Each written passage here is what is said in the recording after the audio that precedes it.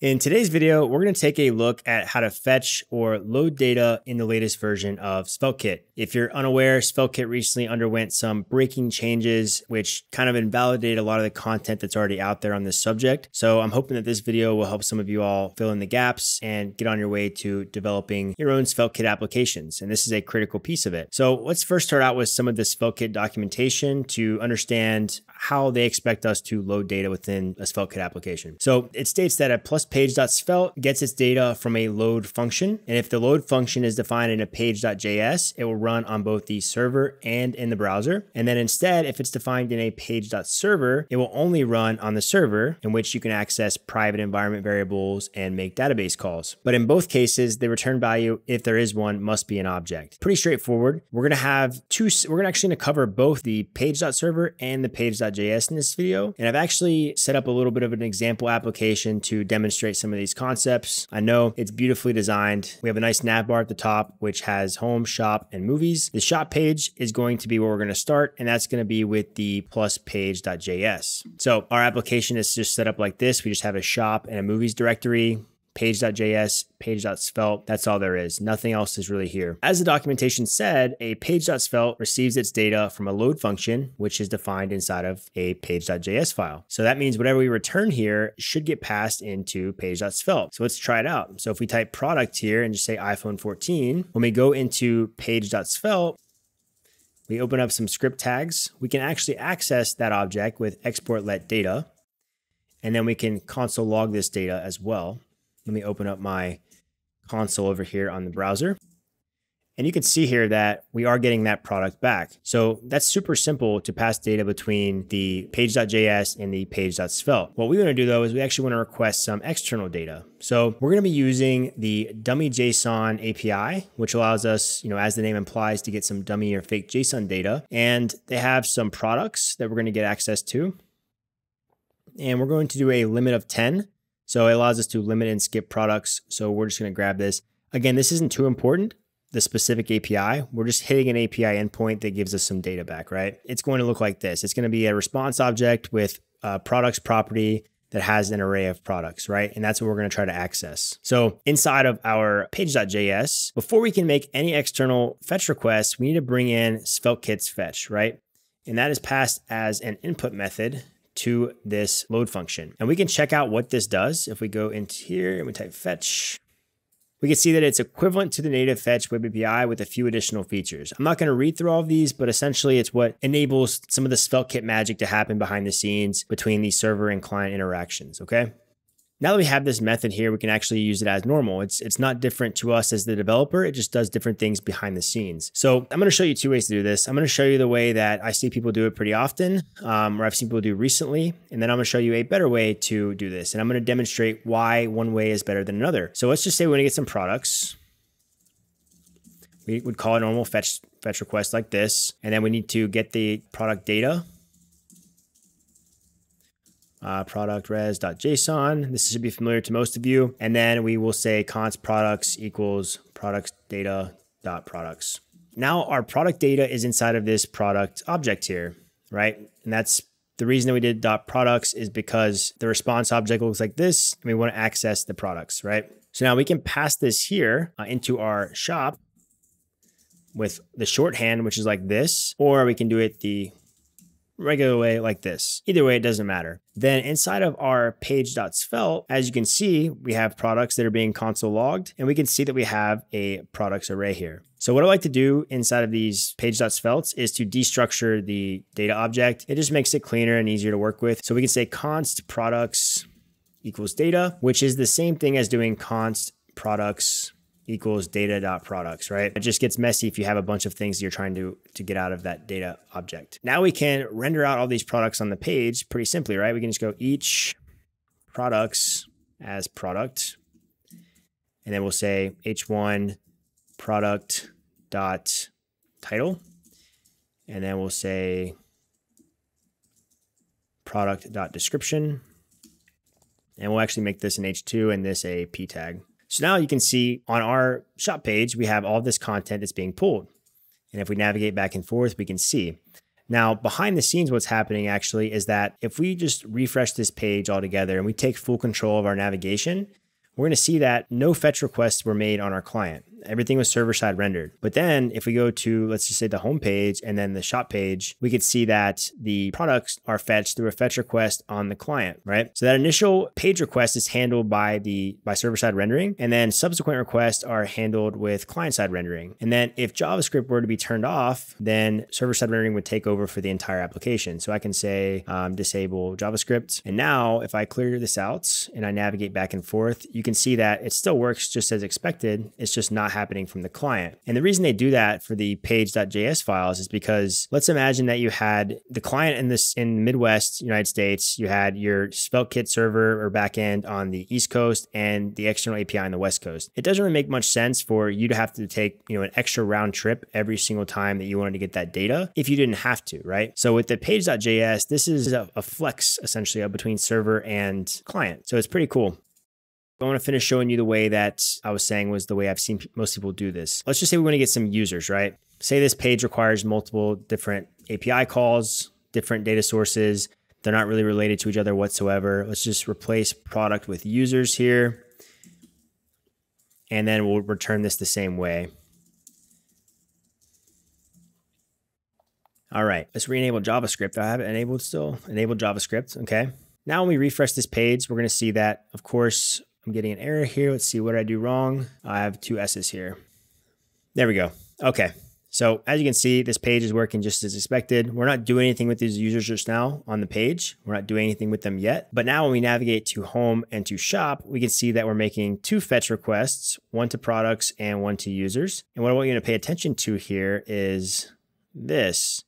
We've actually created a bit of a waterfall here because the user's request has to wait for the product's request to finish before it even starts. And if these two are independent of one another, like we're not using anything from this product's uh, response here inside of our user's request, so it doesn't really make sense for them to be, you know, chained like that in a waterfall. So what we can do is let's check the, the SvelteKit documentation. I'm going to show you where it states this at, so you can see says that in the output, this is still under the load section here. In the output, top level promises will be awaited, which makes it easy to return multiple promises without creating a waterfall, which is literally what we just created right here. So what we can do is we can actually just return these promises from our load function and they'll be resolved and awaited on the page. So let's let's just see how that looks here. We can define a function called fetch products.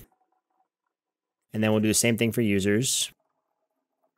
And then we'll need to adjust our uh, last line here. We're just going to return product data dot products and return user data dot users is what this is supposed to be actually not products. It doesn't matter either way. You are still able to see it. So and we're not using these users. I just want to show this as an example um, if you do need to request data from multiple sources right? Now instead of returning you know just products we're actually just going to return this call. So fetch products and fetch users because these both return this returns a promise and this returns a promise. And like it says here they will be awaited. So you can return them just like that. And now if we go here and we save it's going to server side render first because page refreshed. But if we go to home and then to shop again we're going to see that those fetch requests were made. But if we check it out here we can see that now they're running in parallel, which is how it should have been from the beginning, right? So this is the recommended way to, you know, when you have requests that are non-related, and even if they were, you would want to wrap them in the same function. That way, if ever down the line you want to, you know, return multiple different promises, you can do so without having to wait them both inside the load function. And and most people are spoiled, and I think we're all spoiled when it comes to to internet speeds. But there's people that are still running on, you know, 3G, for example, and you can see the difference in the speeds when you when you switch over to 3G. Okay, enough of that. I'm going to remove the users here now because that was just to demonstrate. Now, what I want to show you you is prefetching, which is a pretty cool feature that SvelteKit has. So let's just say that we have users on a slower connection or just anybody really want to improve the overall experience of our site. What we can do is since we know what's going to be populated on this shop page, we know that same request is being made, we can actually go ahead and have SvelteKit prefetch that data when the user hovers over this link. And we can accomplish that by going into our layout here. And in this A tag here, we can just say data SvelteKit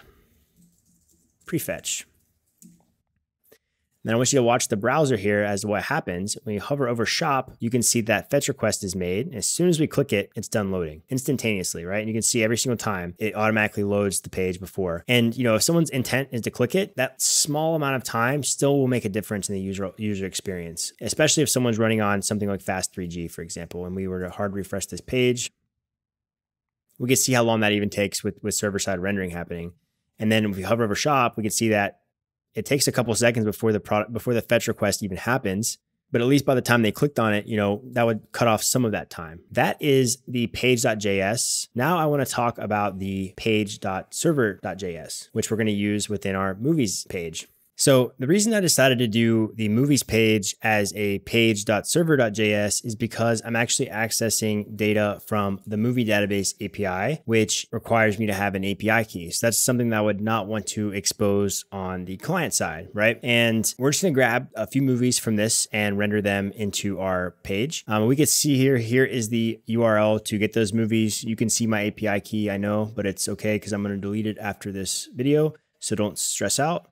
Uh, we do have it defined as an environment variable as well that we're going to be able to pull in into our page.server. So unlike the page.js file, the page.server.js does not take in that fetch method from SvelteKit. We just use regular node fetch for this, but I do need to import the environment variable. So I can import .env slash config so I can actually access that environment variable.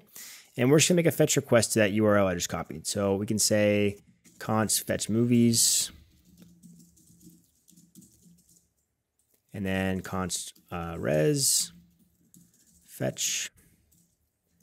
I'm going to take the API key out and I'm actually going to pass that here through my environment variables. TMDB API key, I think is what it was. Yep. So that's gonna be the request there. And then we're gonna take response or data equals await res.json. And then I'm just going to return data dot results, I think is what it is. So we'll do the same thing we did on the previous page where we're just going to return movies and then we're going to pass this function as the value. So the same thing uh, happens for page.server. It will still await and still uh, render that out properly. Now we can go over to our movies page and we can see here that we do in fact get a movies array, which is fantastic. What we can do is on our page.svelte, we can render those out. So First, I'm going to destructure that. So it's a const movies equals data. And then movies, we'll just do in each block movies as movie. And then I think they have like movie.title and movie.overview.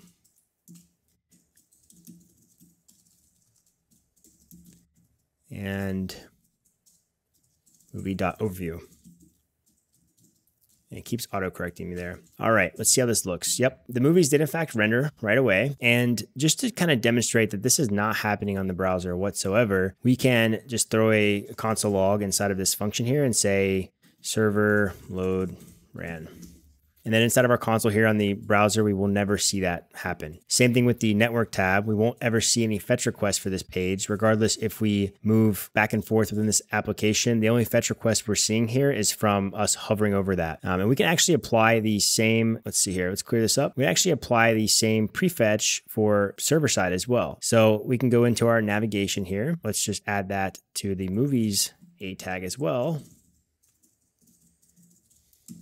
And we'll see behind the scenes, you'll be able to see the traffic here happening. If we hover over, let's go to home first, then we hover over movies we could see that that server side rendering happened in the background. So now when we click movies, boom, it's instantly there. So the same thing applies. Really, the, the major difference between these two is again, the fetch request or the fetch method doesn't get passed into the server side, and you can actually use private environment variables. Um, you can use public environment variables in the regular page.js files, um, but for ones that are more secretive that you would never want to expose on the client, that's where you would use the page.server.js. So I hope this video has been informative. If you have any questions, questions, I do have a Discord server that I will leave a link to in the video description. Feel free to hop on there and ask me any questions you may have. And if not, I will see you guys in the next video.